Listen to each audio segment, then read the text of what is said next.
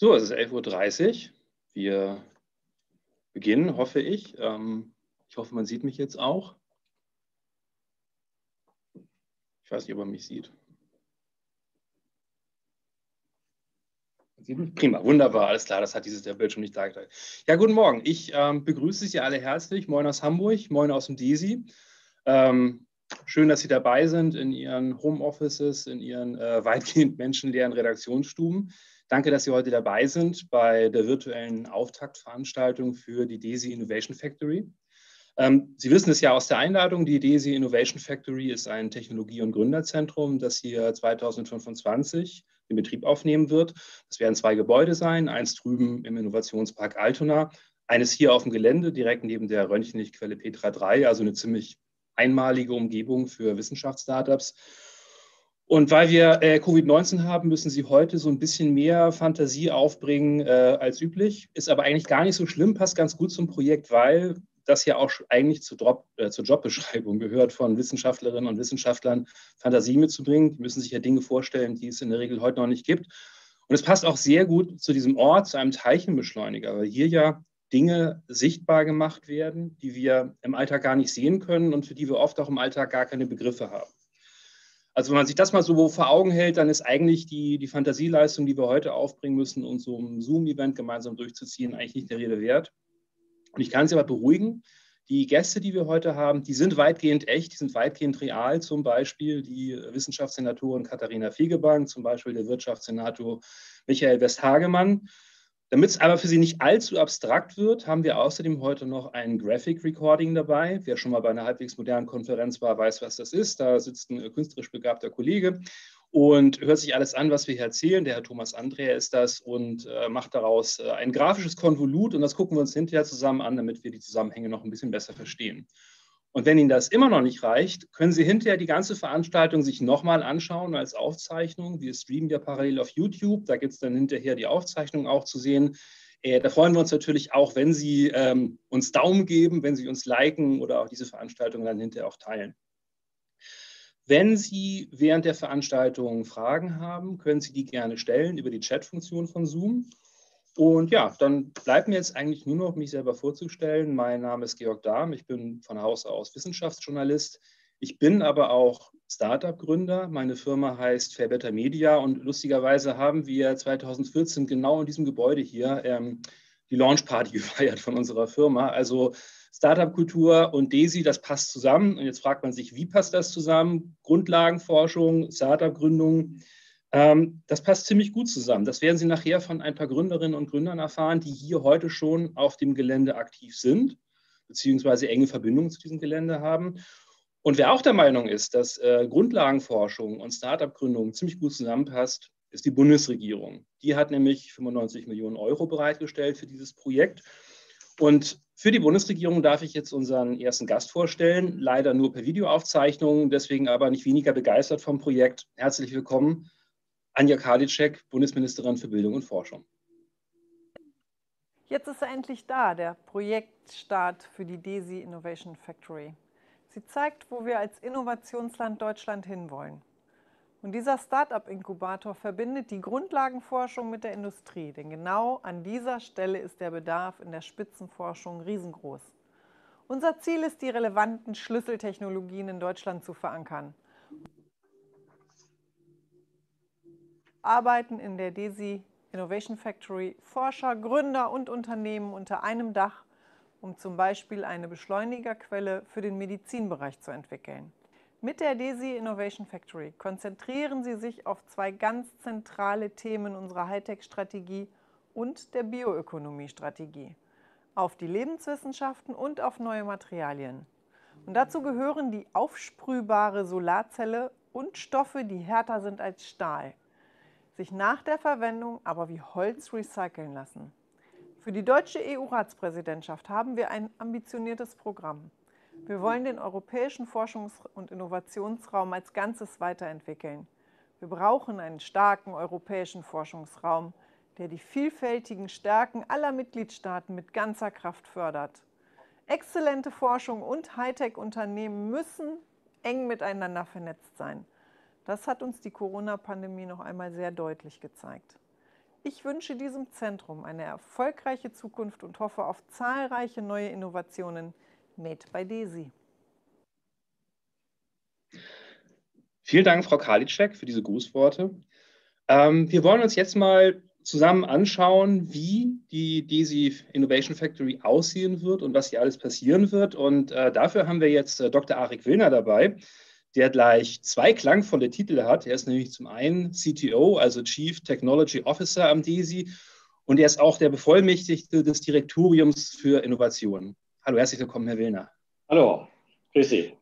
Herr Willner, mögen Sie uns das einmal kurz erklären, was das mit diesen beiden Titeln auf sich hat? Ist so das eine für innen und das andere für außen oder wie sieht das aus? Ja, das haben Sie genau richtig erfasst. Also wir haben äh, festgestellt, dass Innovation und Transfer sehr viel mit Kommunikation zu tun hat. Und äh, wenn man mit Industrie spricht, insbesondere der etablierten Industrie, dann äh, verstehen die uns ganz oft nicht, äh, was wir machen. Und das fängt bei unseren Titeln an und die wissen immer nicht, was ist denn das, was ist denn deine Funktion äh, in deinem Unternehmen? Und bei CTO äh, kriege ich sofort die richtigen Ansprechpartner und sie wissen genau, was ich mache. Und von da haben wir uns äh, vor vier Jahren dazu entschieden, eine Position des Chief Technology Officers einzuführen. Nach drin allerdings interessiert das dann weniger und deshalb habe ich da einen etwas komplizierteren Namen. Und wahrscheinlich ist jeder CTO da draußen noch neidisch auf Sie. Die dürfen darüber entscheiden, welches Videokonferenzsystem angeschafft wird. Sie haben die fettesten Teilchenbeschleuniger. Das ist genau richtig. Wunderbar, ja, toller Job. Ähm, wir können uns jetzt alle einmal ganz kurz zurücklehnen und ähm, eine kleine virtuelle Reise in die ähm, Innovation Factory vornehmen und danach wird uns Herr Willner die Vision dahinter erklären. Bitte schön.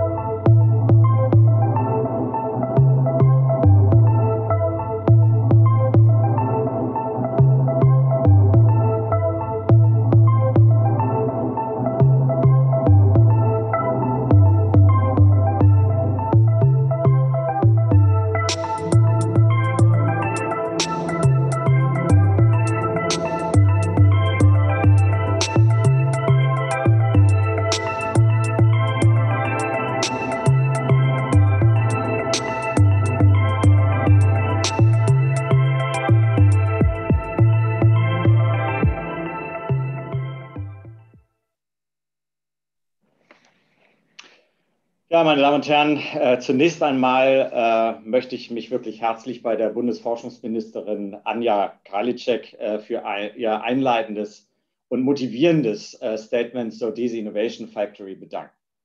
Gerade haben wir außerdem noch einmal die wichtigsten Fakten bezüglich der DESI Innovation Factory in einer Animation zusammengefasst gesehen. Es geht bei diesem Projekt aber weit mehr als um Zahlen, um Fakten und Quadratmeter oder Standorte. Für uns als DESI ist die Vision, die hinter der DESI Innovation Factory steht, ganz zentral.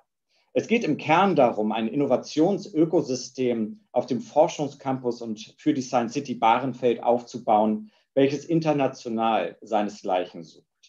Zum einen wollen wir von der exzellenten Grundlagenforschung, die wir hier vor Ort haben, eine Brücke in die Anwendung schlagen und den Transfer von Ideen, Wissen und Technologien zum Nutzen der Gesellschaft beschleunigen. Zum anderen wollen wir mit der DESI Innovation Factory einen Beitrag leisten für die Steigerung der Innovationskraft ähm, etablierter Unternehmen. Wir wollen helfen, die industrielle Innovationskultur zu verändern, um neue Innovationen bis in den etablierten Mittelstand möglich zu machen.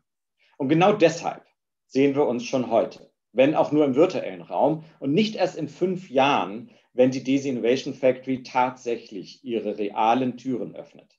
Denn es geht bereits heute darum, dieses Innovationsökosystem zu verankern und die Themen, die wir mit der Desi Innovation Factory setzen und treiben wollen, mit unseren Partnern in der Industrie nach vorne zu bringen. Wie wir schon in dem Grußwort der Ministerin gehört haben, setzen wir ganz bewusst auf Themen, die Schlüsselfunktion für die Zukunftsfähigkeit des Standorts Hamburg und Deutschlands übernehmen. Gesundheit und neue Materialien. Und genau dies sind Forschungs- und Produktbereiche, die von der unmittelbaren Nähe zu den DESI-Großforschungsanlagen als auch dem Wissen der Experten, die hier vor Ort sind, profitieren.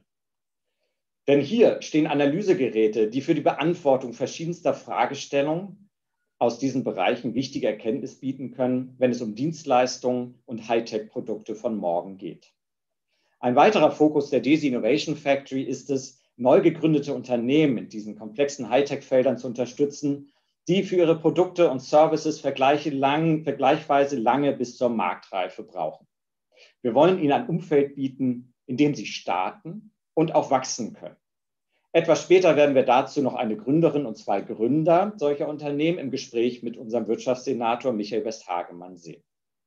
Und dennoch, wenn wir nur bei Startups ansetzen würden, dann greifen wir zu kurz. In der DESI Innovation Factory geht es deshalb auch ganz ausdrücklich um Brückenforschung und um Kooperation mit der etablierten Industrie. Den Weg von der Grundlagenforschung über die angewandte Forschung hin zur Anwendung ist unser Ziel. Es geht um die Verschränkung mit Industrieunternehmen, der gegenseitigen Befruchtung und darum, Projekte und neuartige Ideen aufzugreifen und gemeinsam umzusetzen. Unser Ziel ist die Gestaltung eines lebendigen Ökosystems für Innovation, welches ein Anziehungspunkt in Norddeutschland, Deutschland und der Welt wird. Unser Ziel ist es, äh, dass sich verschiedene Innovationsakteure hier auf Augenhöhe begegnen dies können verschiedene Fraunhofer-Institute sowie Kolleginnen und Kollegen vom UKE oder anderen Hamburger Forschungsinstitutionen oder eben etablierte Industrieunternehmen und Startups sein. Meine Damen und Herren, wir starten heute das Projekt DESI Innovation Factory. Damit sind nicht nur die Gebäude gemeint, sondern die Umsetzung einer Vision für mehr Innovation made in Germany. Ich lade Sie ein, mit uns in Kontakt zu bleiben. Lassen Sie uns an Ideen, an Projekten, an neuen Technologien arbeiten und sie in die Anwendung bringen. Wir setzen uns dafür ein, entsprechenden Projekten, Unternehmen und auch Startups auf dem Campus bereits jetzt das notwendige Innovationsumfeld zu bieten. Kommen Sie auf uns zu, wenn Sie Interesse an einer Zusammenarbeit oder einen speziellen Bedarf für Ihre ganz persönliche Innovation haben. Die DESI Innovation Factory soll ab heute lebendig werden und dann in einigen Jahren mit dem neuen Gebäude ein Zuhause bekommen.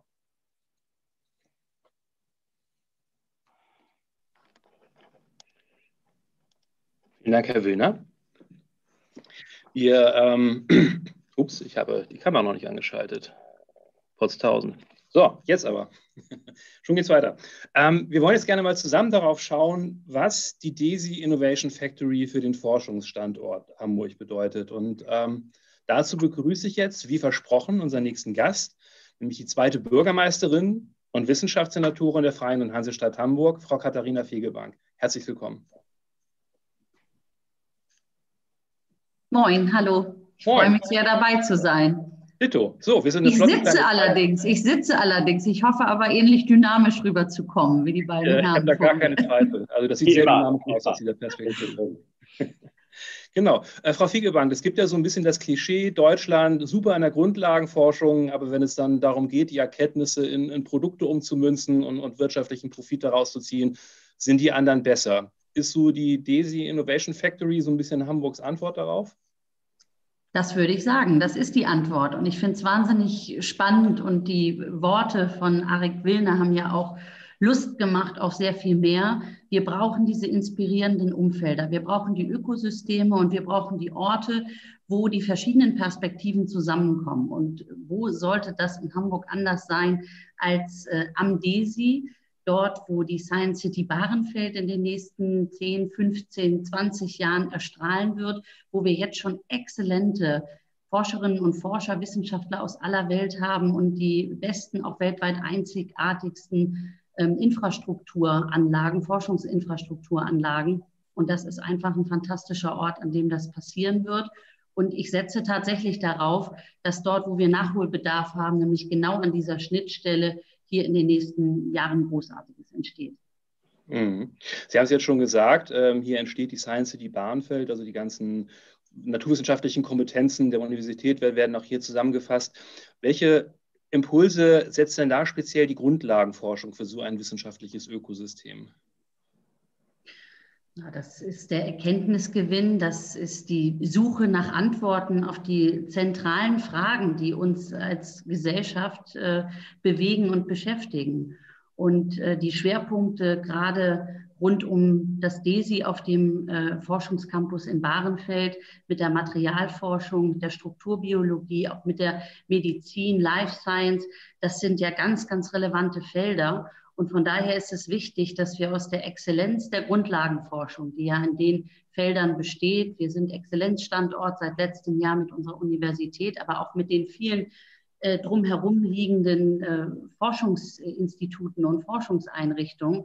Und das hat sich schon ziemlich gut entwickelt in den letzten Jahren. Und jetzt äh, die Brücke wirklich noch stärker zu spannen in die in, in die Praxis, die Übersetzung, in die Anwendungsorientierung, in das konkrete Produkt, in ein neues Material, in äh, eine Therapie für äh, eine Krankheit, das äh, macht den Reiz aus. Das heißt, die Grundlagenforschung ist, wie der Name sagt, die Grundlage all dieser Dinge. Und jetzt geht es aber darum, äh, den, den Gründergeist auch zu wecken und auch neue ähm, Technologien und, und Materialien in die Praxis zu übersetzen, zum Wohle der Gesellschaft, zum, zum Wohle aller Menschen und der Menschheit. Mhm. Daran vielleicht anschließt mal eine Frage an Sie beide. Was würde Ihnen denn mehr gefallen hier auf dem Gelände, was, was hier entsteht? Äh, ein Nobelpreis oder ein Börsengang? Ja. Sowohl als auch, würde ich sagen. Wir warten eine, alle auf den Nobelpreis. Wir warten alle auf den Nobelpreis, aber natürlich äh, kann das eine nicht ohne das andere äh, funktionieren. Das ist ja, das ist ja genau Sinn und Zweck der Innovation Factory, dass sich, dass sich das hier verbindet. Exzellente Grundlagenforschung mit äh, Gründergeist, mit äh, Pioniergeist, mit äh, inspirierenden Ideen für die praktische Anwendung. Und warum sollte sich da dann nicht auch ein Börsengang äh, herausentwickeln in den nächsten Jahren? Wir sollten nach den Sternen greifen. Ja, ich, ich glaube, was auch ganz entscheidend ist, dass wir ja Wissenschaft oder Wissenschaftsorganisation auch ein bisschen neu denken müssen. Warum soll denn der Nobelpreisträger in seiner Gruppe nicht auch Patente erhalten, die dann wiederum zu neuen äh, ähm, äh, Unternehmen führen können, die dann vielleicht irgendwann mal einen Börsengang haben? Das muss ja nicht immer der Nobelpreisträger selber sein, der das macht, sondern es gibt ja viele junge Doktoranden, die gerne nah an der Wissenschaft bleiben wollen, aber eben nicht in der Wissenschaft. Und deswegen ist es auch ein hochinteressanter Karriereweg für junge Wissenschaftlerinnen und Wissenschaftler, eben ein eigenes Unternehmen zu gründen. Äh, von daher ist das, glaube ich, die Zukunft, dass wir auch in der exzellenten Wissenschaft ähm, das Thema Innovation als einen integralen Bestandteil begreifen, was sich aber nicht gegenseitig aussticht, sondern eben bestärkt. Mhm. Und dass das wirklich auch unterschiedliche Typen anspricht.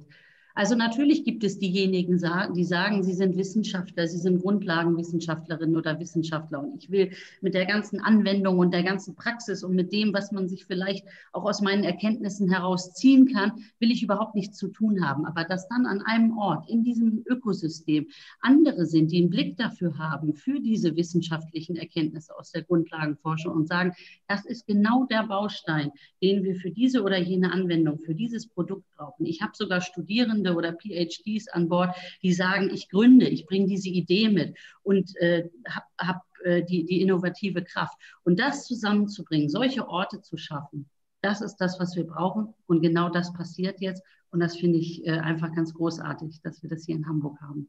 Mhm.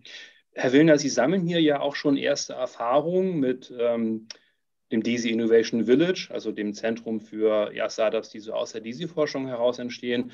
Ähm, auch, auch das letzten Endes eine Frage an Sie beide. Ist denn das, was Sie hier machen und dann auch planen mit der DESI Innovation Factory, kann das auch ein Vorbild sein für andere Hamburger Hochschulen, dass man mehr solche Initiativen in diese Richtung macht, um mehr Forschung auch in, in Produkte und in Gründung zu überführen?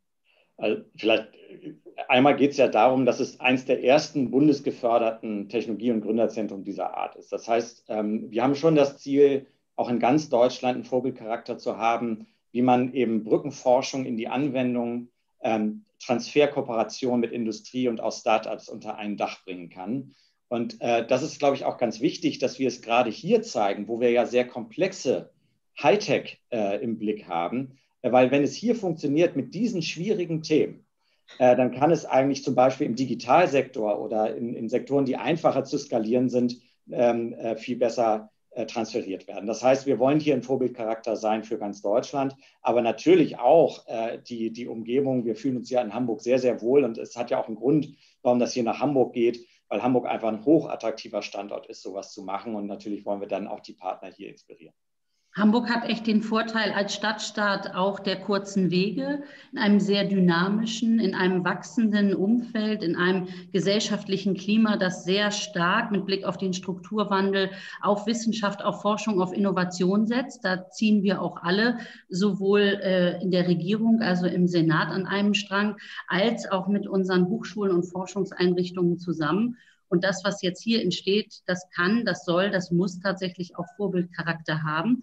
Wir haben ähnliche äh, Konstruktionen und Konstellationen in, in anderen Bezirken, an anderen Standorten. Aber wie Arek Wilner gerade sagte, ähm, hier, ist natürlich wirklich die Besonderheit erstens der äh, einzigartigen äh, Forschungsinfrastruktursituation, gleichzeitig wirklich mit exzellenter Grundlagenforschung wo es dann viele Jahre hieß, ähm, wir, wir sind hier für uns und äh, das, was in anderen Bereichen im Blick auf wirtschaftliche Entwicklung stattfindet, äh, das ist wichtig und relevant, aber damit haben wir nicht so viel zu tun. Und da haben schon in den letzten Jahren ganz neue Denkprozesse ähm, eingesetzt. Und ich erlebe das, äh, diesen Spirit ähm, und diesen Pioniergeist erlebe ich auch an anderen Standorten, in Bergedorf beispielsweise, wo es um Wind- und Windenergieforschung und um äh, auch eine Fraunhofer-Anlage äh, geht in ähm, Harburg mit dem Innovation Port in der engen Verbindung zu unserer technischen Universität. Aber das Spannende ist ja,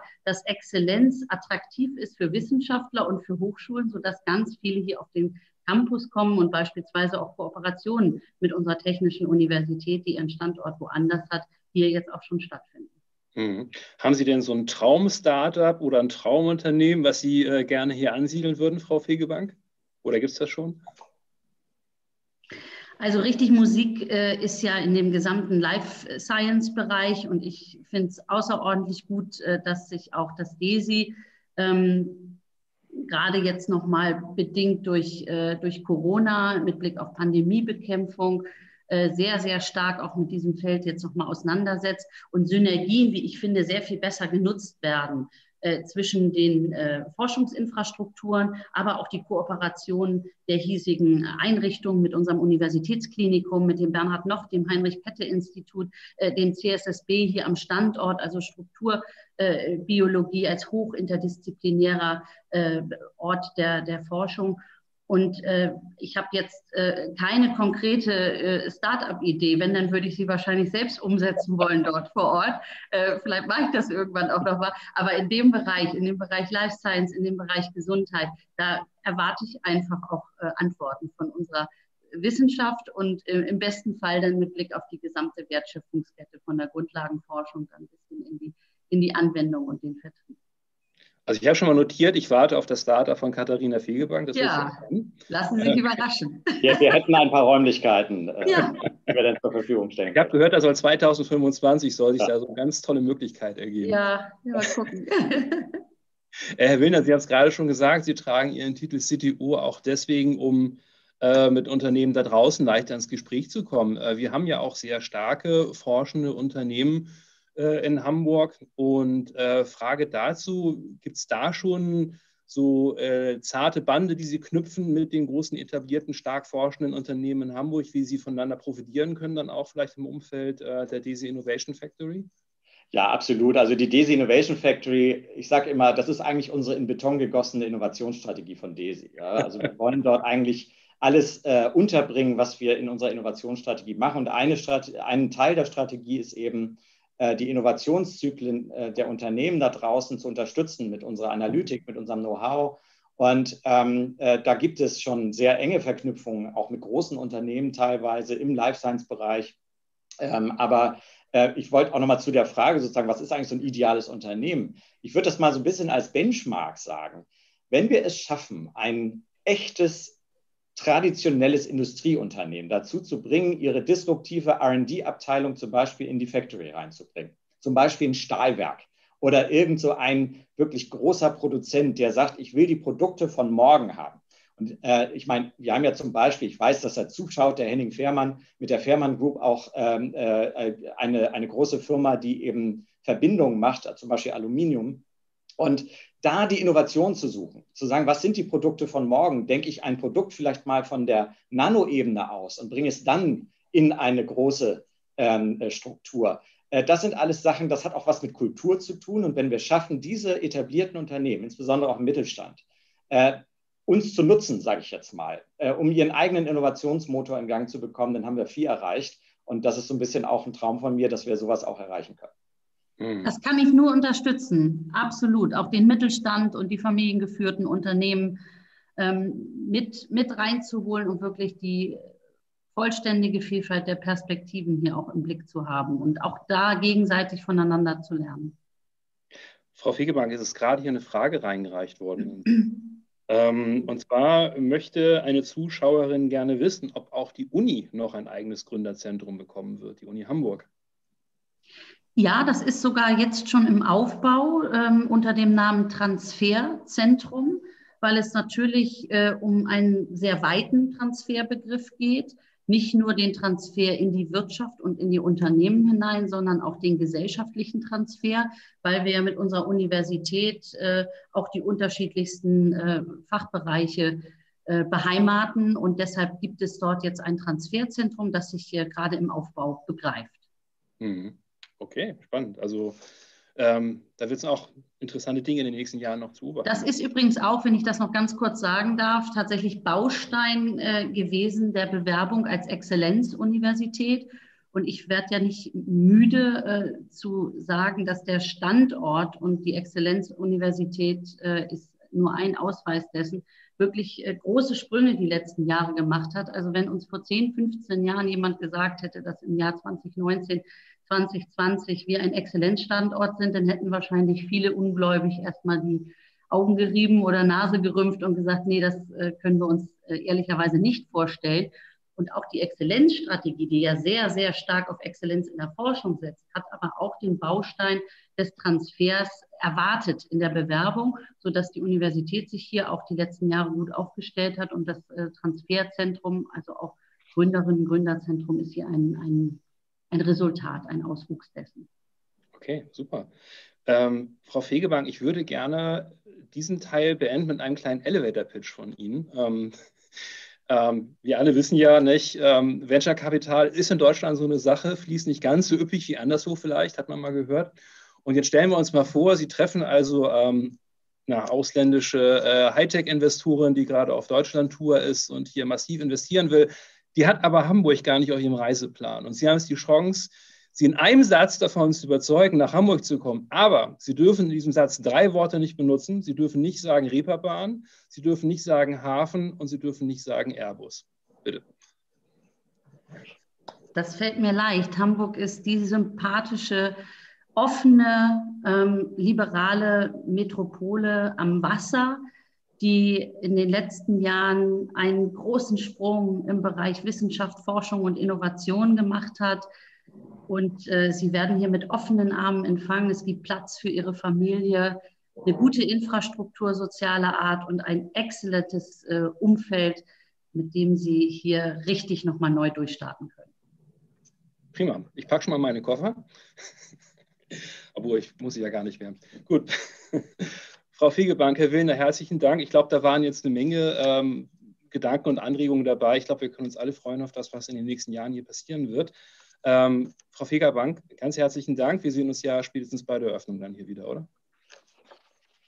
Danke. Liebe Grüße an alle, die ich jetzt hier teilweise nur namentlich sehe, vor allem der Kollege Michael Westhagemann, der sich schon zugeschaltet hat. Hallo Michael und äh, auch alle anderen, die dabei gewesen sind. Viel Spaß noch heute. Dankeschön, vielen Dank. Herr Willner, Sie bleiben uns ja noch ein bisschen erhalten. Wir haben noch ein bisschen genau. miteinander.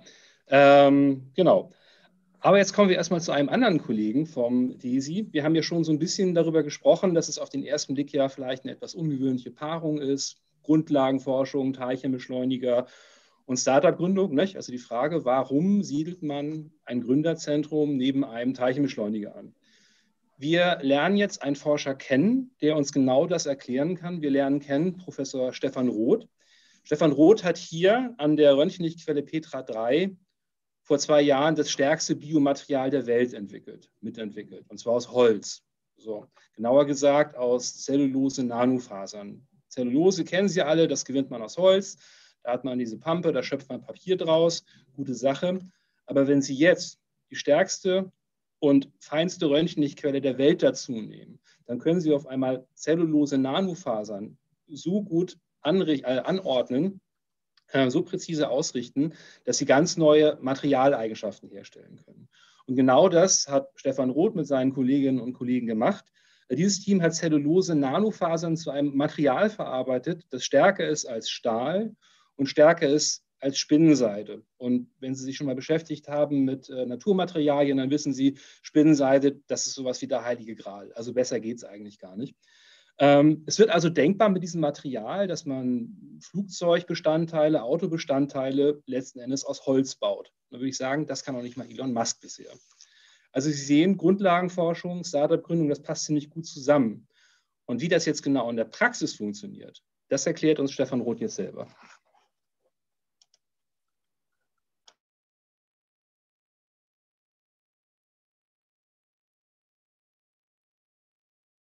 Also super spannend finde ich als erstes diese kurzen Wege. Man kann sich austauschen. Wir haben Ideen, wir machen Forschung fundamentaler Art, die sich auch anwenden lässt. Ich stelle mir bei der Innovation Factory vor, dass das Start-ups sind, aber auch vielleicht erfahrenere Firmen und die kommen von der Anwendungsseite her die können uns auch sehr gute Impulse geben, auf was wir genauer achten sollen, was für Sie wichtig ist.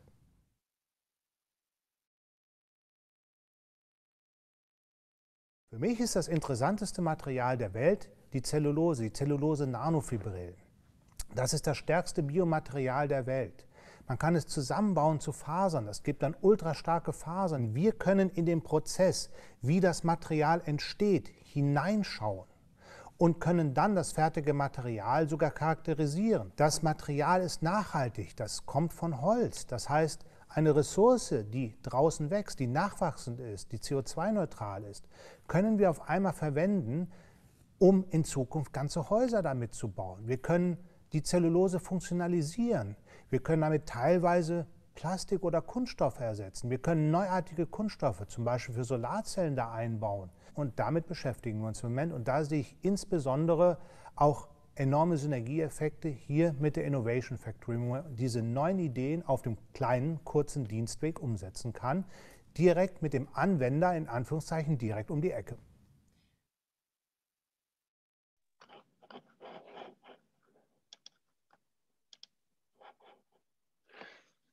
Das war Professor Stefan Roth. Sie haben jetzt also schon so ein bisschen was darüber gehört, wie so das kreative Miteinander hier funktioniert und dementsprechend auch funktionieren wird äh, in der DC Innovation Factory. Also wir haben gelernt, dass Nähe, dass kreative Befruchtung ein echter Standortvorteil sein kann. Allerdings Startups, wir haben es gerade vorhin schon angesprochen, die leben nicht nur von gegenseitiger Befruchtung, die brauchen auch noch ein paar andere Sachen. Die brauchen Platz, die brauchen Geld, die brauchen gute Leute, die brauchen ganz besondere Gerätschaften. Und da wollen wir uns jetzt mal kurz darüber unterhalten, was wir eigentlich am Standort Hamburg brauchen und besser machen können, damit sich solche Deep Tech Startups hier ansiedeln können und welchen Beitrag die diese Innovation Factory dazu leisten kann. Und darüber spreche ich jetzt mit drei Gründerinnen und Gründern. Bei uns sind Katja Werner, sie ist Gründerin des Nanotechnologieunternehmens Pinatech. Äh, bei uns ist außerdem Stefan Börsting, er ist CPO von Lignopure, eine Ausgründung der TU Harburg. Und wir begrüßen Marc Jopek. CEO von Axiom Insights, Unternehmen, was hier schon ziemliche Cutting-Edge-Produktentwicklung am DISI direkt macht. Hallo, herzlich willkommen. Hallo. Und wir begrüßen jetzt wirklich, ähm, er, steht schon in den Startlöchern, ich finde es super, ähm, Hamburgs Wirtschaftssenator Michael Westhagemann. Herzlich willkommen, Herr Senator. Ja, danke. Herr Westhagemann, ähm, wir, um jetzt mal so in einer Klischeewelt zu bleiben, ja, ähm, Hamburg, das kennt man mehr so als Stadt der Medieninnovationen. Wie wichtig sind denn so Deep Tech-Innovationen für den Standort? Ja, die sind natürlich ganz wesentlich, weil wenn Sie über Deep Tech äh, Startups reden, dann befinden wir uns ja stark bei Startups, die so einen Forschungshintergrund haben. Und eigentlich übersetze ich das immer so, dass die sehr disruptiv unterwegs sind. Wir haben das ja gerade auch in dem vorherigen Beitrag gehört. Was ist denn dann das stärkste Material zukünftig? Gibt es da etwas, was Stahl ablösen könnte? Und das sind so äh, Innovationen, die nur aus der Forschung heraus auch getrieben werden können. Deswegen entstehen dann häufig komplett neue Technologien, auf die wir aufsetzen müssen. Und ähm, deswegen finde ich jetzt den Ansatz auch ganz gut, dass wir dort einen Raum schaffen mit der Innovationsfactory, dort auch die Möglichkeit zu schaffen, dass sich dort etwas entwickeln kann, äh, ein Netzwerk von Forschern, von ähm, Gründern. Ähm, und das ist die Voraussetzung. Und äh, deswegen bin ich auch ganz froh, dass wir das da beim DESI entstehen lassen können. Mhm. Ähm, Frau Werner, Sie haben ja äh, Ihr Nanotechnologie-Startup Pinatech genau hier am DESI auch angesiedelt. Ich weiß aber aus unserem Vorgespräch, ähm, dass wir Sie fast verloren hätten. Also Sie haben sich bundesweit umgeguckt, sind dann doch am DESI gelandet. Und ähm, da wollte ich noch mal fragen, was sind so die Stärken vom DESI, von, von diesem Areal her? Was hat Sie überzeugt, hier zu bleiben? Ähm, für mich ist natürlich die Interdisziplinarität ein, ein sehr, sehr großer Faktor. Auch die, die Durchmischung zwischen wirklicher Hardcore-Basisforschung und dem Interesse sehr großer Firmen auch an dem, was dabei rauskommt, ist natürlich äh, ein sehr, sehr guter Triebfaktor der eigentlich auch eine, eine Chance bietet, auch für sehr kleine Startups äh, mal über den Tellerrand zu schauen und vielleicht auch noch äh, Felder zu beackern, die man überhaupt gar nicht im Visier hatte. Und ähm, so dann doch auch äh, noch einen Mehrwert zu schaffen. Mhm. Was sind denn so ähm, die Stärken oder sagen wir es mal andersrum? Was kann denn Hamburg lernen von anderen Standorten, die Sie sich angeguckt haben? Was kann Hamburg zum Beispiel lernen von Bayern oder um Gottes Willen äh, Baden-Württemberg? ja, also ähm, gerade im Life Science Bereich, wo wir ja tätig sind, also die Pinatech, die macht eben sehr anwendungsorientierte äh, Fertigprodukte für die Life Science Anwendung. Ähm, und gerade der, der Bereich Life Science ist ja, wie ja auch schon in den Vorgesprächen rauskam, ein bisschen unterrepräsentiert in Hamburg, ähm, wo ja jetzt auch massiv etwas für getan wird, das zu verbessern. Ähm, und wir haben einfach das Glück, dass wir ganz am Anfang mitschwimmen können und äh, diese Welle mitnehmen können. Ähm, und ich denke, dass gerade die Factory mit der, wie Herr Willner ja sagte, interdisziplinären, innovativen Ökosystem in, in Norddeutschland eine sehr, sehr gute Basis dann auch bieten kann. Also ich weiß halt von den internen Gesprächen hier, dass nicht nur Hightech oberstes Level, größte Firmen, Industrie, Kollaboration gefordert und gefördert wird, sondern dass es auch äh, geplant ist, sehr kleine, einfache Benches zur Verfügung zu stellen, wo ein, ein Vorgründer vielleicht auch schon mal ähm, Hand anlegen kann und einen ersten Prototypen, naja, noch, vielleicht noch kein Prototypen, aber ein kleines Labormuster basteln kann, ähm, mit dem man dann vielleicht auch mal einen Investor überzeugen kann. Ähm, die ganze Bausteinstruktur dieser Factory, die macht natürlich wahnsinnig viel aus, weil ähm, gerade in der Anfangsphase überfordern einen Vorgründer aus der Wissenschaft die Anforderungen an fünf verschiedene ähm, Businesspläne, einer für den Investor, einer für die Bank, der dann wieder sehr solide sein muss, einer für irgendeinen Wettbewerb, der dann wieder das Goldene vom, vom Himmel versprechen muss. Ähm, das, das ist halt ich meine, irgendwo ist die, die Wirklichkeit liegt ja in der Mitte und letztlich müssen wir alle versuchen, äh, die Firma, die wir gründen, am Leben zu erhalten und wachsen zu lassen. Um, und das kostet nun mal einfach Einnahmen. Also wir müssen zusehen, dass wir Einnahmen generieren und das ist ein, ein sehr, sehr hartes Brot. Mhm.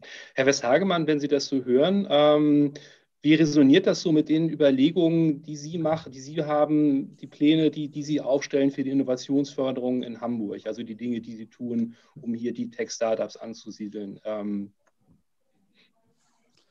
Frau Werner hat an einer Stelle absolut recht. Ähm, sie hat nämlich eingangs gesagt, wer weiß schon, was alles hier an dem Standort Hamburg passiert.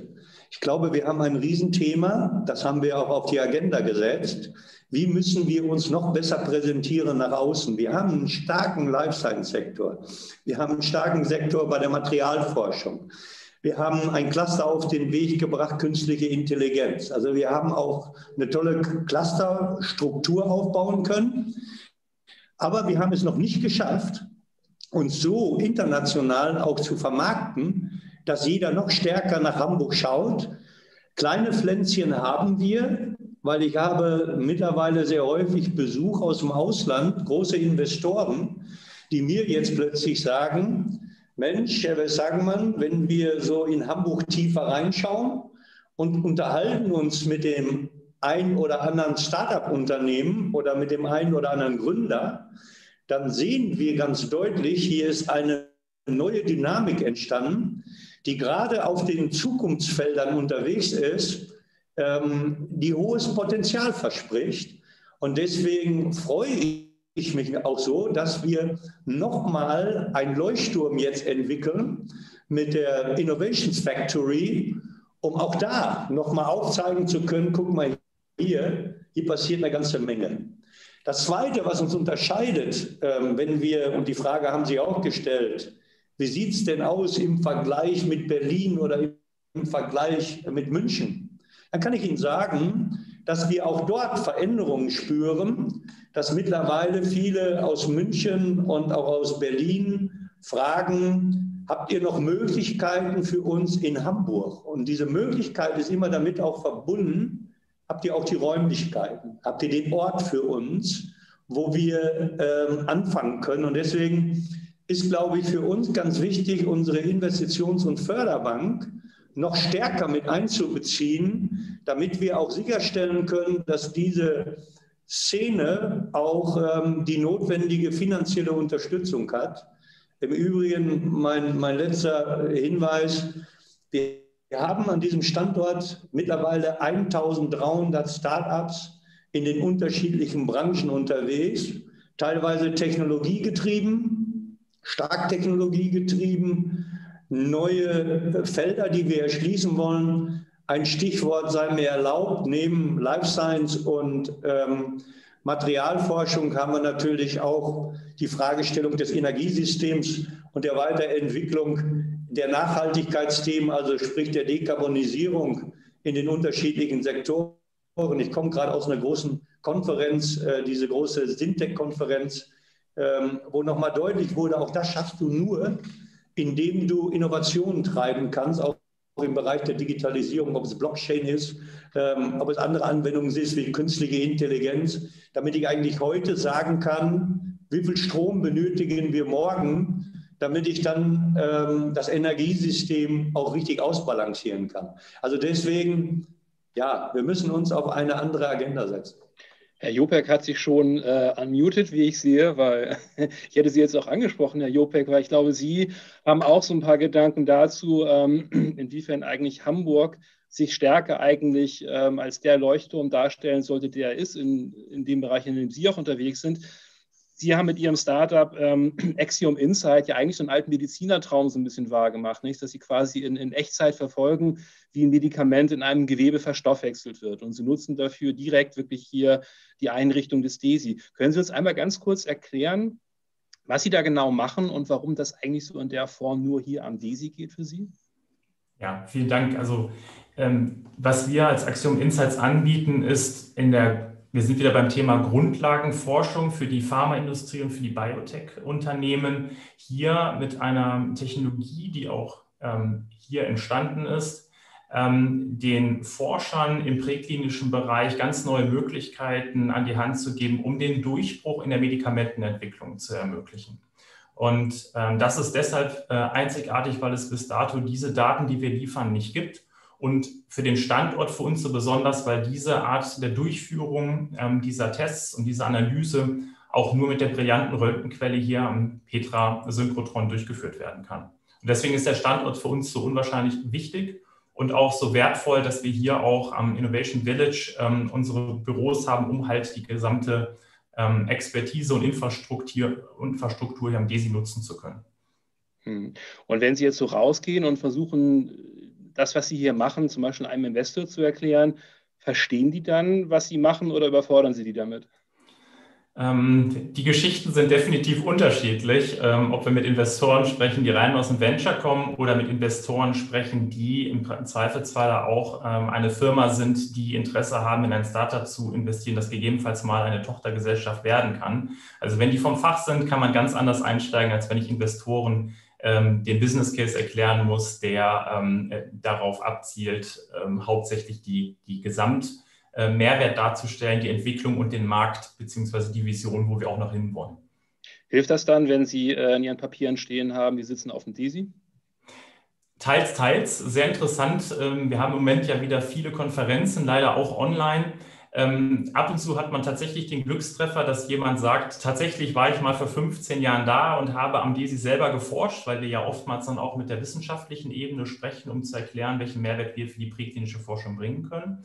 Aber grundsätzlich ist der Standort international für, ich sag mal, die klassischen Business Development Menschen, die, mit denen wir auch in Kontakt stehen, eher nicht bekannt. Mhm. Ähm, Herr Börsting, wie erleben Sie das denn? Sie sind mit Ihrem Startup Lignopure ja noch auch ähm, sehr am Anfang. Sie haben äh, vieles, wie ich im Vorgespräch gelernt habe, auch wie man es als Gründer dann eben macht, on the job gelernt. Nicht? Wie geht das eigentlich äh, mit den ganzen rechtlichen Dingen, Patente und so weiter. Aber davon mal abgesehen von den üblichen Nicklichkeiten, wie erleben Sie denn das Umfeld hier, das Startup-Gründerumfeld in Hamburg? Sagen Sie ja, passt super tolle Unterstützung für ein Wissenschaftsstartup oder sagen Sie, Mensch, hätte ich doch mal was mit Medien gemacht? Ähm, zwiegespalten. Also wir sitzen ja im Startup Doc am, am Gründercampus in Harburg, so gesehen dem südlichen Pendant zur äh, DESI Innovation Factory. Und ähm, es ist so, dass bei vielen Themen klar der, der wissenschaftliche Hintergrund und auch noch die enge Vernetzung zur Universität sehr hilfreich ist und da so ein, gerade so ein Standort wie die DESI Innovation Factory fachlich sehr helfen kann. Ähm, aber genau wie Sie gerade angesprochen haben, die, die größten Probleme, die am Anfang, wenn man etwas gründen will, aus einer Universität heraus oder außer äh, einer Doktorarbeit heraus zum Beispiel, sind eben diese ganzen Gründungsthemen, die einen beschäftigen. Diese Patentübernahme, die Buchhaltung, ähm, wie akquiriere ich Kunden, wie stelle ich meinen ersten Prototyp überhaupt her, wenn ich kein Equipment habe, wie Frau Werner schon angesprochen hat. Und da ist es gar nicht so wichtig, ob ich mich jetzt mit jemandem austausche, der vom Fach ist, der also den gleichen Hintergrund hat, ähm, zum Beispiel über Biopolymere, über ähm, Zellulosefasern oder vielleicht über Flugzeugbau. Ähm, da ist es eigentlich eher wichtig, sich mit Leuten einfach auszutauschen, die diese Schritte schon gemacht haben und die, die vielleicht schon zwei, drei Jahre weiter sind. Und gerade für so einen ähm, Austausch helfen eben solche Orte, wo viele Gründer die in verschiedenen Stadien ihres Business sind, äh, zusammensitzen und einfach mal beim Mittag und beim Kaffee ähm, sich austauschen können. Und wir haben es gerade eben erfahren, auch viel durch die IFB, die Herr Westhagemann schon angesprochen hat, oder eben auch diese Startup-Preise ähm, und Events, zum Beispiel den Hamburg Innovation Award, dass man gerade darüber viel besser vernetzt wird, mit, mit anderen Gründern in den Austausch kommt und da geht es oft gar nicht so um fachliche Dinge, ähm, also um das eigene Core-Business, sondern um, um das Ganze drumherum. Wie gründe ich? Was brauche ich dafür? Mhm. Sprechen wir auch bei Ihnen noch mal kurz über Geld. ich meine, man muss über Lignopure Folgendes wissen. Lignopure ist ein Startup, ähm, das macht Produkte aus Lignin, also aus einem Holzbestandteil. Und sie machen daraus quasi äh, Produkte für vegane Kosmetik, vegane Ernährungszusatzstoffe und veganes Leder. Und wenn ich jetzt höre Holz und vegan, dann denke ich, da muss ihm doch eigentlich jeder Investor die Türen einrennen. Ist das so? Ähm, leider nicht. ähm, es ist durchaus immer War schwierig, weil ähm, wir konkurrieren natürlich stark mit, mit allen erdölbasierten Produkten. Und das ist natürlich auch das Ziel von uns, dass wir sagen, wir möchten eigentlich alles, was auf Erdöl basiert, irgendwie ersetzen können. Und ähm, ob da die äh, Zellulosefasern von Herrn Roth helfen und unser Lignin, das ähm, geht Hand in Hand, weil wenn ich Holz aufschließe, kriege ich diese beiden Polymere da raus. Ähm, aber es ist auch immer eine Preisfrage am Ende. Und mhm. gerade wenn man am Anfang steht und wenn man in der Entwicklung steht, ähm, fehlt das Geld natürlich, um ein Produkt, einen Prototyp herzustellen und den zu präsentieren und damit wirklich auch Kunden zu überzeugen. Ähm, auf der anderen Seite, wenn man diesen Prototyp nicht hat, ähm, sind die Investoren oder die Interessenten vielleicht auch noch nicht so überzeugt, weil den braucht man erstmal. Und das mhm. ist so ein bisschen die Frage ähm, des Huhn und des Ei. Ähm, man braucht das eine für das andere, aber ich brauche das Geld für den Prototypen und ich brauche den Prototypen, um das Geld dran zu bekommen. Und ähm, gerade wenn noch viel Forschung eben auch ähm, im Vordergrund steht oder auf dem Weg zum Produkt ist, ähm, sind viele erstmal zurückhaltend. Ähm, wir sind aber gerade genau in der ersten Finanzierungsrunde und sind äh, bis jetzt sieht es sehr positiv aus. Ich glaube an Sie. Danke. Ähm, Herr Westhagemann, ähm, Lignopure ist jetzt ja nun ein ähm, Beispiel für ein Startup, was ähm, aus einer Hochschule heraus gegründet wird. Das macht vieles einfacher. Man hat Zugriff auf Labore, man hat Zugriff auf die Hochschulressourcen. Äh, man kann auch leichter bestimmte Fördermittel wie das Exist Gründerstipendium beantragen. Das ist ja ein bisschen schwieriger, wenn man ein Startup gründet, ein Wissenschaftsstartup und man hat schon so ein bisschen mehr Lebens- und Berufserfahrung. Ja, Frau Werner zum Beispiel, die hat ja wirklich schon viel hinter sich und ähm, hat nun wirklich mit einem, ja, wirklich auch großen Erfahrungshorizont neu gegründet. Herrn Jopek betrifft das genauso. Ähm, wie sehen Sie das? Was, was tut der Standort Hamburg, um solche Startups, die eben so diesen Welpenschutz nicht haben, hier zu etablieren und groß werden zu lassen? Ja, ich glaube, was wichtig ist, was Sie zu Recht angesprochen haben, ähm, welche Orte kann man schaffen, ähm, um dann den Menschen auch die Gelegenheit zu geben, genau das auszuprobieren, was sie auch gerne, äh, wo sie sich hinentwickeln möchten. Das Beispiel ist für mich das ZHL, was wir stark nutzen für den ganzen Bereich Luftfahrt. Äh, dort haben wir erstmal etwas entwickelt, wo wir gesagt haben, wir brauchen nicht nur den Ort, wo sich ähm, Unternehmen, Startups niederlassen können. Und wir verknüpfen dann die jungen Startups mit den etablierten Unternehmen, damit man die zusammenbringt, aber auch mit der Wissenschaft, äh, die ganz wichtig ist, ähm, in dem Falle natürlich stark geprägt auch durch die Technische Universität. Das heißt, Aufgabe der Politik ist es, glaube ich, in dem Segment, die richtigen Rahmenbedingungen schaffen zu können. Das, was wir häufig an anderen Standorten schon gesehen haben. Und das war hier ähm, in Hamburg ähm, in den letzten Jahren oder ja, in den letzten Jahren vielleicht nicht so ausgeprägt, ähm, weil man sich stark auf andere Branchen konzentriert hat. Ich nenne nur mal den Hafen. Da hat jeder in Hamburg über den Hafen gesprochen. Wenn es den Hafen schon gut geht, dann geht es auch den Hamburger und der Wirtschaft gut. Wir leben aber in einem neuen Zeitabschnitt, wo es darum geht, wie gestalten wir jetzt die Zukunft. Und da bin ich ähm, bei all den Vorrednern. Ähm, und dazu müssen wir nicht nur Standorte definieren können, wir müssen Netzwerke etablieren können, wir müssen die teilweise moderieren können, wir müssen ihnen die Möglichkeit geben, die notwendigen finanziellen Mittel zu bekommen und wir müssen unsere Attraktivität, das, was Katharina Fegebank vorhin gesagt hat, warum kommen denn junge Menschen nach Hamburg?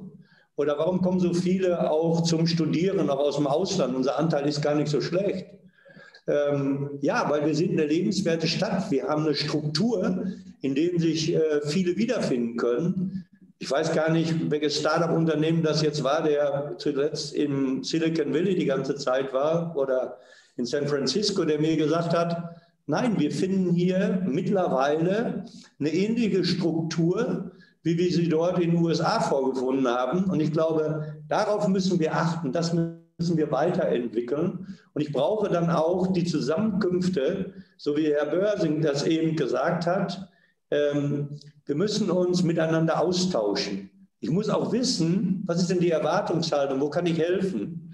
Äh, und wenn wir das gut moderieren können, dann können wir uns auch äh, dementsprechend vielleicht zukünftig nochmal auf eine andere Landkarte setzen, wie Frau Werner es gesagt hat. Da muss natürlich zukünftig nicht jemand mehr zum Silicon Valley reisen, weil er glaubt, da ist die Innovationsschmiede. Ich habe mich mal vor anderthalb Jahren zu dem Zitat hinreisen lassen, weil mich einer gefragt hat, was ist denn Ihre Vision von dem Standort Hamburg? Und da habe ich ihm gesagt, wenn wir dem Anspruch, dass wir der Innovationsstandort nicht nur in Deutschland, sondern in Europa sind, dann kommen auch viele Investoren hier direkt unmittelbar nach Hamburg. Frau Werner, wenn Sie das hören, möchten Sie äh, Herrn Westhagemann noch was mitgeben auf dieser Reise?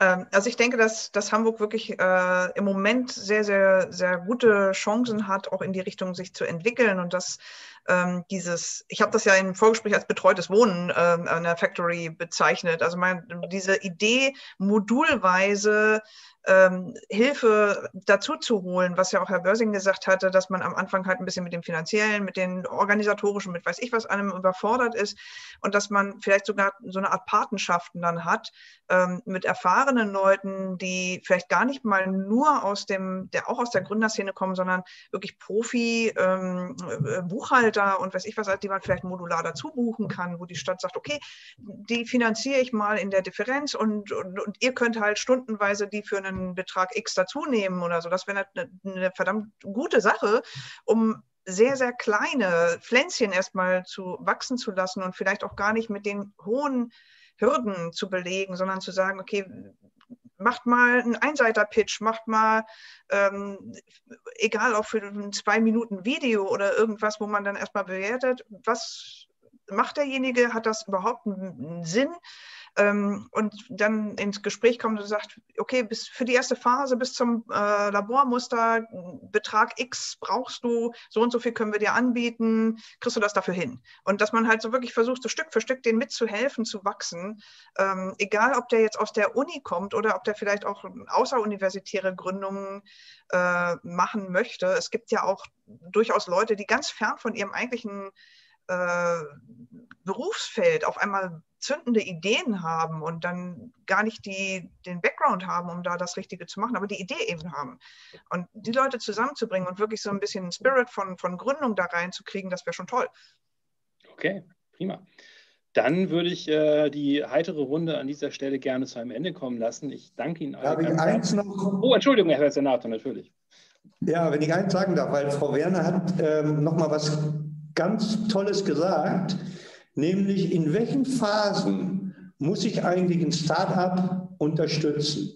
Und ich kenne das so, dass wir früher immer gesagt haben, wir denken so in Meilensteine. Es gibt maximal fünf Meilensteine. Die erste Phase ist die Idee. Die zweite Phase ist dann diese Entwicklung, Produktentwicklung oder etwas weiterzutreiben. Die dritte Phase ist, wie gehe ich damit in den Vertrieb? Und in jeder dieser Phasen braucht man eine gewisse Unterstützung. Und das, Frau Werner, hat mich gerade noch mal ähm, auf die Idee gebracht, dass ich das noch mal mitnehme. Können wir nicht auch in den bestimmten Phasen Hilfe zur Verfügung stellen, die dieses Know-how genau haben? Und das hilft meist jungen Startups.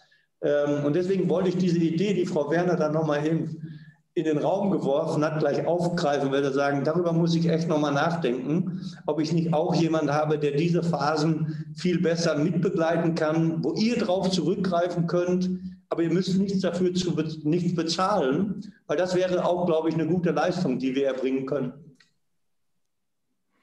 Super, das freut mich, dass, äh, dass da was drüber überspringt. Äh, ich, ich, hätte sie auch quasi mit diesem äh, Input aufgerufen. Ich sehe sie nur leider sehr, sehr klein und kann immer nur raten, ob jemand irgendeine äh, Gefühlsaufwallung hat und gerne was sagen möchte.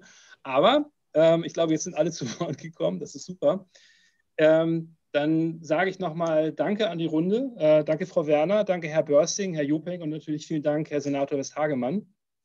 Ähm, Sie sind sozusagen, können sich jetzt auch wieder so ein bisschen äh, entspannt zurücklehnen, denn jetzt ähm, werden wir alle mal kurz durchatmen. Wir haben ja hier einen ziemlichen äh, Parforce-Ritt jetzt hinter uns. Wir sind auch ein bisschen über der Zeit, wie ich gerade äh, gesehen habe, aber ich wollte diese äh, Runde jetzt auch nicht vorzeitig beenden, weil es einfach sehr spannend war.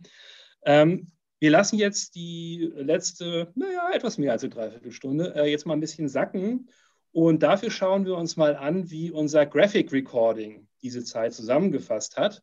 Ähm, dafür werde ich mich jetzt mal wieder äh, aus der visuellen Leitung begeben und äh, dann werde ich mal zusammen mit Herrn Willner auf äh, die Ergebnisse des Graphic Recording gucken. Ich hoffe es jedenfalls, dass ich das kann.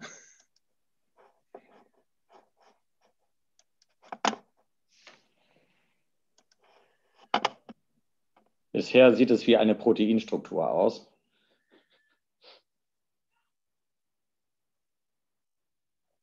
Das ist ja alles etwas. So, was sehen wir? Ähm, ich kriege mal ganz nah ran an die Kamera. Ich hoffe, ich werde gerade nicht gefilmt, weil sonst sehen Sie alle meine Nasenlöcher. Das will niemand. Ähm, Herr Willner, was sehen Sie? Fangen Sie mal an. Äh, es ist äh, leider sehr schwer zu erkennen, weil es bei mir klein ist, aber äh, ich ähm, sehe doch einen, einen sehr bunten Mix an, äh, an ähm, Elementen in der Factory und äh, auch insbesondere das Zusammenspiel zwischen der ähm, äh, Bundesrepublik Deutschland und Hamburg. Ich glaube, das ist auch was ganz Wichtiges, was ich hier nochmal erwähnen will. Das ist ja ein Bundeszentrum, was zu 90 Prozent bundfinanziert ist. Und wir haben den Anspruch, als DESI ähm, hier eben auch bundesweit ähm, einen Eindruck zu hinterlassen. Und da ist eben auch ganz besonders wichtig äh, die Frage der Innovationskraft der etablierten Unternehmen. Ähm, wir haben äh, bei dem Thema Startups ja immer ein sehr regionales Thema. Äh, das haben wir jetzt ja auch gerade wieder erlebt. Äh, das ist der Standort sehr wichtig.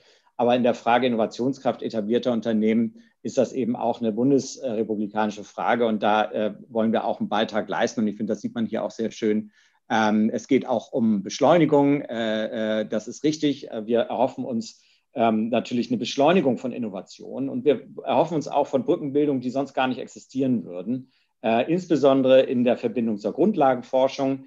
Die Frage, was Grundlagenforschung leisten kann, ist ja auch immer die, dass wir in der Grundlagenforschung ja viele Sachen ausprobieren, die sich nie ein Unternehmen trauen würde, weil das viel zu teuer wäre. Und das ist etwas, was sehr wichtig ist bei Innovationen. Ähm, ja, also das ist so ein bisschen mein Eindruck, ähm, äh, bunt gemischt, aber äh, doch zielorientiert äh, in der Daisy Innovation Factory am Ende zu arbeiten. Ja, mir gefallen auch die Darstellung der vielen Wege und Verbindungen, vor allem ähm, die, äh, wenn ich nochmal äh, den linken Teil der Zeichnung sehen darf, drüben die Köhlbrandbrücke, die jetzt äh, unsere Brücke, die Brücke zur Praxis ist. Ähm, und jeder, der schon mal mit dem Fahrrad über die Köhlbrandbrücke rübergefahren ist, weiß, dass es kein ganz leichter Weg ist, aber ähm, wir sehen hier, haben wir einiges an Rückenwind dafür. Und ähm, ja, auch diese direkten Verbindungen wirklich zu den Hightech-Forschungseinrichtungen, dass dann eigentlich auch der Weg zum Supermaterial, zu diesen wirklich sehr, sehr zukunftsfähigen Anwendungen gar nicht so weit ist. Ähm, Finde ich sehr inspirierend. Herr Willner, hängen Sie sich das in Ihr Büro dann hinterher? Oh, würde ich glatt machen. Äh, oder wir hängen es dann in die Factory, wenn es eröffnet ist. Wunderbar. Prima. Dann, Entschuldigung, dann ganz herzlich, ich schwöre, das ist Stauballergie, kein Corona. Ähm, dann ganz herzlichen Dank an das Graphic Recording, danke an Herrn André. Ähm, wir nehmen das nachher auch noch mit auf die Seite. Und ähm, jetzt schalten wir uns wieder zurück auf die Kamera. Prima, da sind wir wieder. So, ähm, ich habe es Ihnen am Anfang schon ähm, gesagt und äh, es ist hier, hier oder da auch noch zur Sprache gekommen.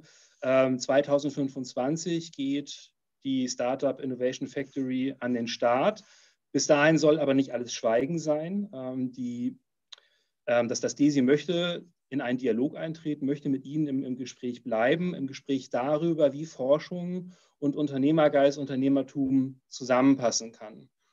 Und den Auftakt sozusagen für dieses andauernde Gespräch, was wir bis 2025 und natürlich auch darüber hinaus führen wollen, macht heute eine Frau, die seit 20 Jahren im Innovationsmanagement arbeitet, als Beraterin, als Dozentin, selber auch als Gründerin und durch ihr Engagement im Wirtschaftsrat.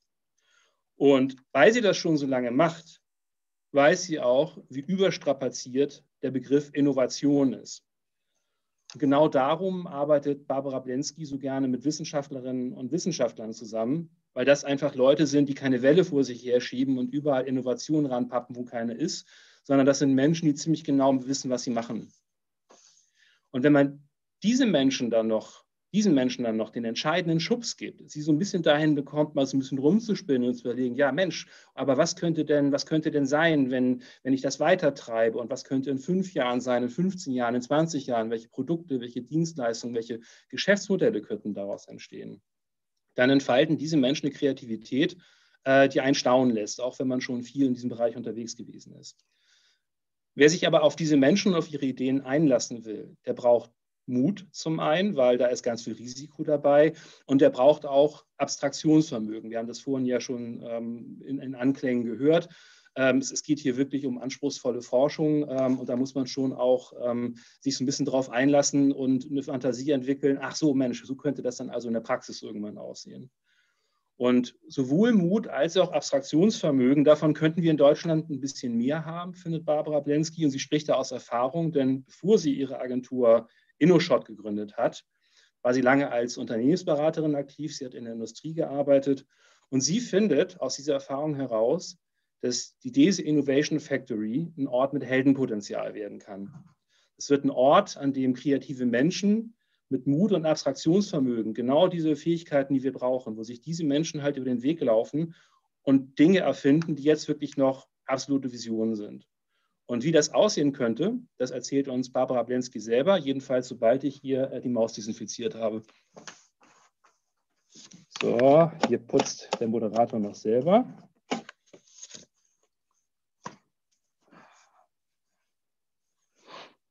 Und bitte.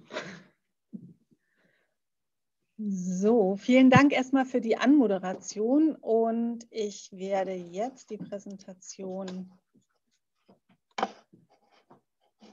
teilen, dass Sie mir auch alle folgen können. So, wunderbar. Also nochmal herzlichen Dank, wie gesagt, für die Anmoderation und vor allen Dingen auch ganz herzlichen Dank an all meine Vorredner, die wunderbar die Brücke jetzt zur abschließenden Keynote geschlagen haben. Zum einen, ähm, dass wir toll zusammenfassen konnten, was es denn eigentlich bedeutet, ein Ökosystem für Startups zu schaffen und damit äh, nicht nur die Metropolregion Hamburg, sondern auch Deutschland beziehungsweise auch Europa nach vorne zu tragen und ich werde jetzt speziell nochmal darauf eingehen, wie es uns denn eigentlich gelingen kann, aus einer Gründungsidee tatsächlich zu einem nachhaltigen, ähm, zu einer nachhaltigen Geschäftsidee und zu einem Unternehmen ähm, das Ganze entstehen zu lassen. Und in dem Zusammenhang möchte ich als erstes ein wenig zurück in unsere ähm, großartige Geschichte gehen und ein wenig über gescheiterte Helden erst einmal sprechen. Ähm, die Helden, die wir hier sehen, die Dinosaurier, sie haben es leider nicht geschafft, trotz Größe, trotz ihrer ähm, Stabilität, ähm, sich weiter im Geschehen zu halten und durch ähm, großartige Veränderungen ja weiterhin uns auch heute noch zu begleiten. Genau das ist der Grund, weswegen Google ähm, sich solch einen Dinosaurier als Mahnmal gestellt hat. Der Dinosaurier ist direkt vor dem Headquarter zu finden und erinnert alle daran, dass es irgendwann von einem kleinen Unternehmen, damals 1995 entstanden, Backrub auf ähm, der Stanford University, ja, dass sie mittlerweile zu einem großen Dinosaurier herangewachsen sind. 60.000 Mitarbeiter in 50 verschiedenen Ländern. Und die Frage ist, wie gelingt es denn, solch einem großen Unternehmen weiterhin immer wieder sich an Veränderungen anzupassen und dementsprechend auch weiterhin unerschütterlich zu bleiben? Vielleicht da ein kleiner ähm, Exkurs in die aktuelle politische Situation, Monopolklage durch die US-Regierung. Wir werden sehen, wie sich das weiterhin entwickeln kann. Gerade in den ähm, vorhergehenden Diskussionen, die wir jetzt bereits schon gehört haben, stellen wir immer wieder fest, wir sind in einer Welt, wo wir natürlich ähm, mit VUCA konfrontiert werden. Also extrem volatil, ähm, wir haben eine hohe Komplexität und gerade was wir jetzt erleben, natürlich in der Pandemie, eine ähm, sehr starke Wechselwirkung mit ähm, all den Veränderungen, die es gibt und vor allen Dingen eine große Herausforderung für Unternehmen, sich dort stabil überhaupt aufstellen zu können. Die große Frage, wenn wir die unterschiedlichen Technologien, an denen wir arbeiten möchten, äh, weiterentwickeln, wie kann es uns gelingen, tatsächlich in Europa, ähm, im Speziellen auch in der Metropolregion Hamburg, diese Rolle, die es notwendig ähm, mit sich bringt. Wie können wir diese Rolle ähm, tatsächlich weiterhin aufrechterhalten, dass wir Technologieführer sind, dass es uns eben nicht passiert, wie eventuell auch in der Automobilindustrie schon zu sehen, ähm, dass ein Börsenwert von Tesla genauso groß ist wie die gesamte deutsche äh, Automobilindustrie. Und da gilt es natürlich gerade mit dem innovativen Gedanken, Innovation nach vorne zu treiben. Und dort kann natürlich auch gerade die DESI Innovation Factory einen großen Anteil äh, mit einnehmen von dieser Grundlagenforschung tatsächlich dort das in richtige Anwendungen reinzubringen, neue Materialien zu erforschen, neue Lebenswissenschaften, ähm, dort Ansätze zu schaffen, die wir in unserem ganz konkreten Alltagsleben dann anwenden können und äh, dementsprechend auch den gesamten Wirtschaftsstandort dadurch stärken. Die Marktfähigkeit von Innovationen bzw. Ideen. Ähm, gerade in unserer letzten Diskussion, ich finde, Frau Werner hat das wunderbar zusammengefasst, wie wichtig es ist, ähm, eine brillante Idee natürlich auch marktfähig überhaupt zu machen. Und was steht dort denn eigentlich alles dahinter, solch eine brillante Idee nach draußen zu tragen? Dort gibt es vier wichtige Punkte, die wir dort ähm, zusammenfinden. Und zwar zum ersten die Idee natürlich mit einem großen Nutzen zu versehen, der natürlich für alle ähm, Endanwender es vollkommen klar macht, worum geht es denn eigentlich und welchen eigenen Nutzen habe ich aus dieser ähm, Idee.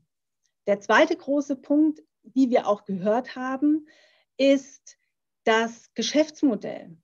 Wenn wir über ähm, Geschäftsmodelle sprechen, geht es darum, die Idee so in einen Rahmen zu gießen, dass wir ähm, das Ganze auch natürlich als Unternehmen nach draußen tragen können, also es wesentlich stabiler ähm, gestalten können. Wie wir aber auch vielleicht ganz schön ähm, aus Film und Fernsehen kennen, kann es eben auch sein, dass die Idee zwar brillant ist, ähm, kleiner Brückenschlag zu Nico Rosberg und die Höhle der Löwen, ähm, der unter Tränen den Raum verlassen musste, weil er tatsächlich eine Idee, dieses Let's Act, wunderbar fand. Es hat ähm, genau seine Ideen mit angesprochen, aber das Geschäftsmodell, was dahinter liegt, ähm, er in keinsten Fall nachhaltig fand, ähm, so dass er das Ganze in Zukunft als gewinnversprechend ansehen könnte. Und damit gleich zu dem dritten Part, ähm, die Unterstützer.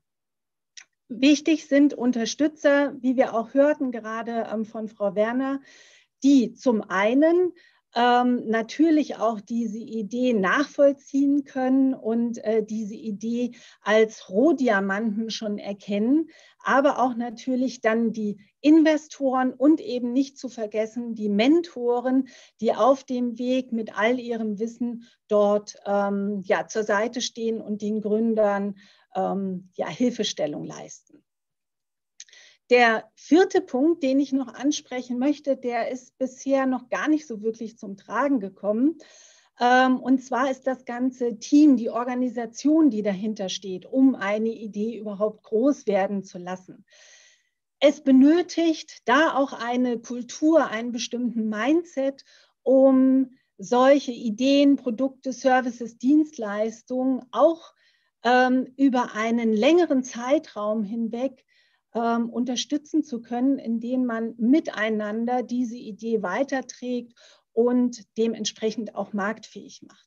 Und das heißt, auf Dauer kann ein Startup, ein Gründer nicht ständig im Sprint sein, sondern er muss nach und nach übergehen in den Marathon, in den Marathon, dass ein ganzes Unternehmen entsteht.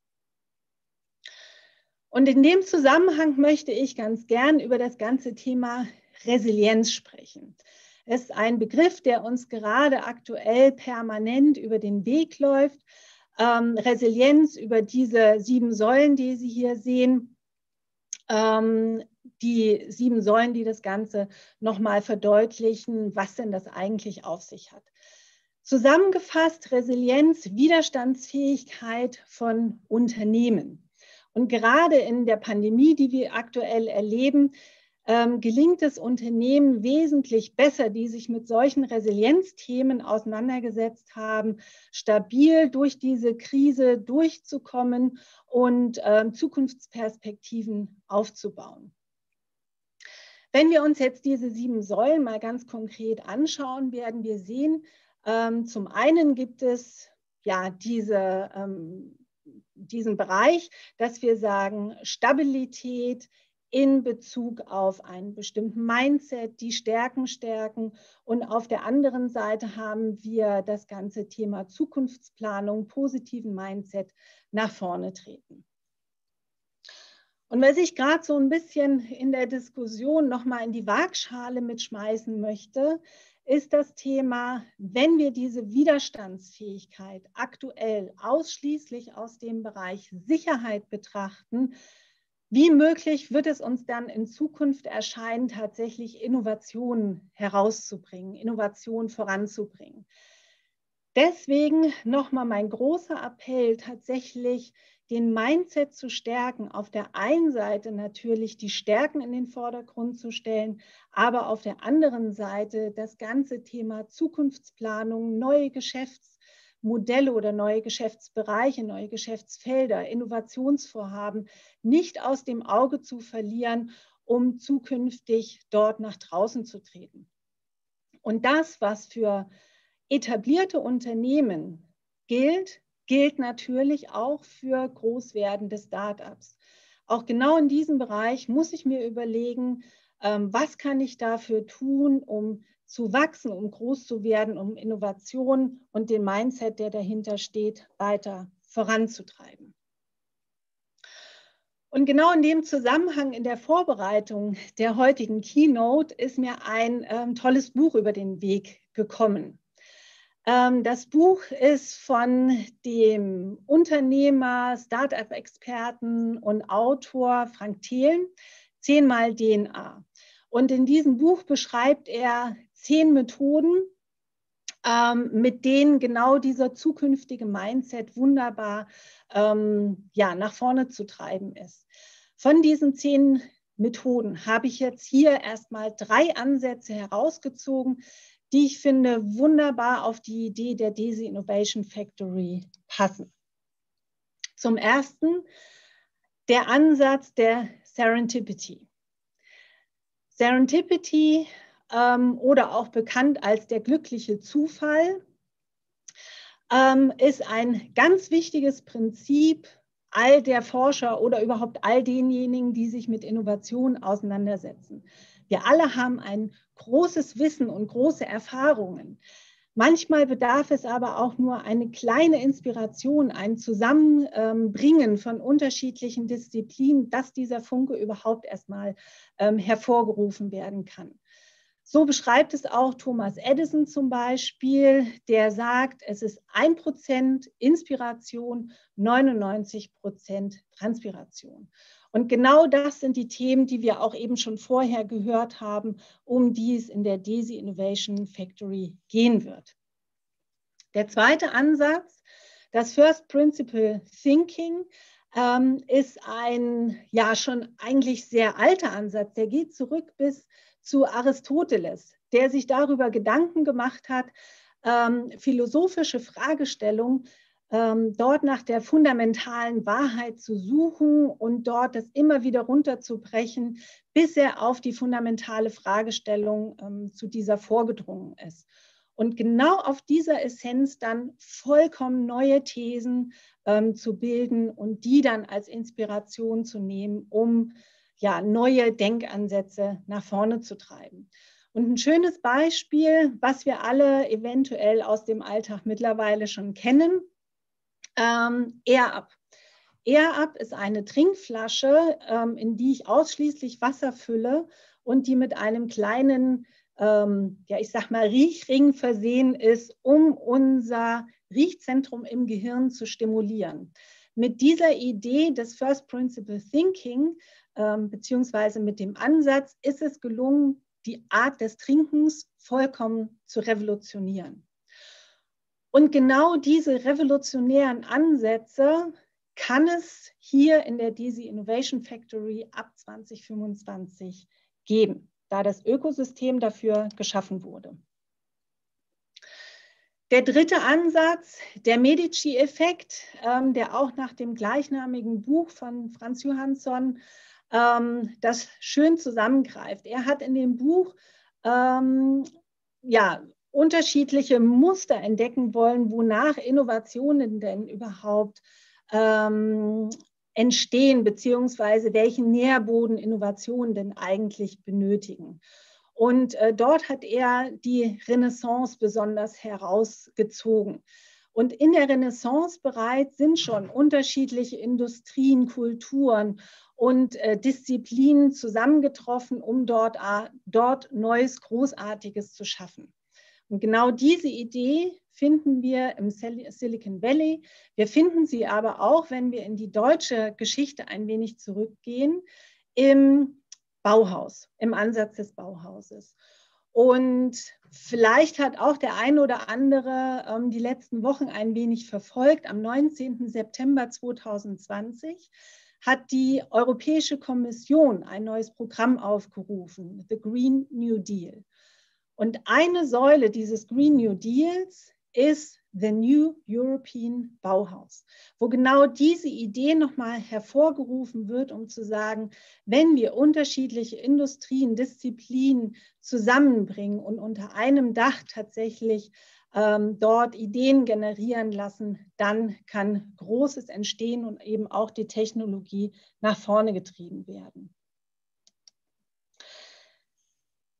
Die drei Ansätze zusammen bilden wunderbar ab, was in der DESI Innovation Factory denn alles passieren kann in der Vision, wenn nach und nach ähm, hier Startups in der Innovation Factory einziehen, an der Grundlagenforschung ähm, weiterarbeiten, tatsächlich konkrete Anwendungen sich herauskristallisieren, aber auch die Möglichkeit geben, mit externen ähm, ja, Unternehmen zusammenzuarbeiten und dort ganz neue Inspirationen hervorzubringen und dementsprechend unsere Rolle ähm, in der weltweiten Technologieentwicklung tatsächlich zu gewährleisten. Und ganz abschließend möchte ich noch ein Zitat bringen von Justin Trudeau, was finde ich super in die aktuelle Situation passt. Das hat er 2018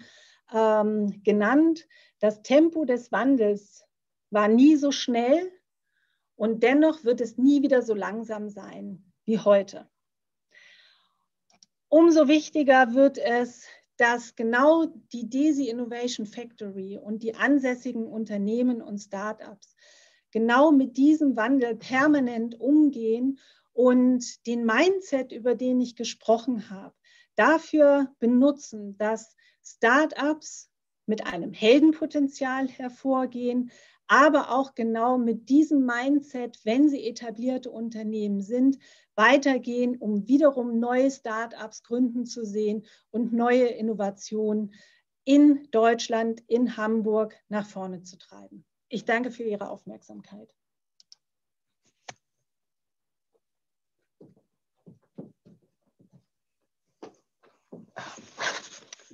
Ups, ups, ups.